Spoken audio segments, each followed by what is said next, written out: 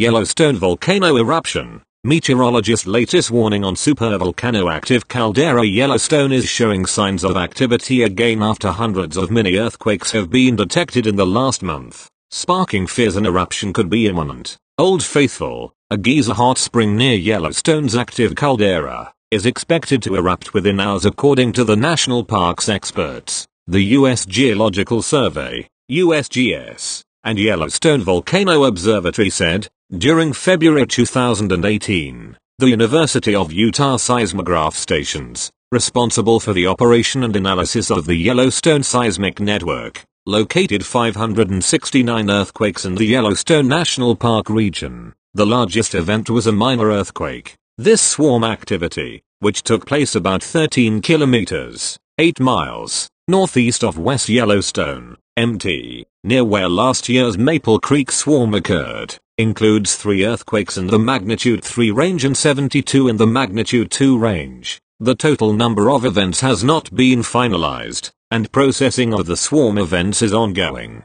Earthquake sequences like these are common and account for roughly 50% of the total seismicity in the Yellowstone region. Yellowstone earthquake activity is currently at elevated levels compared with typical background activity. Meanwhile social media has been abuzz over the increased seismic activity. Joey Brooklyn on Twitter said, Yellowstone is rumbling again. However American meteorologist Tom Skilling believes Yellowstone will not erupt in the foreseeable future. During February 2018 the University of Utah seismograph stations located 569 earthquakes in the Yellowstone National Park region. It is impossible to know when Yellowstone's next major eruption will occur, but the volcano is closely monitored. Minor earthquakes occur in the Yellowstone area 50 or more times per week, but a major eruption is not expected in the foreseeable future.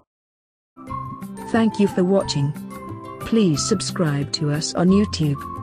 If you like donate to us visit home on the page PayPal.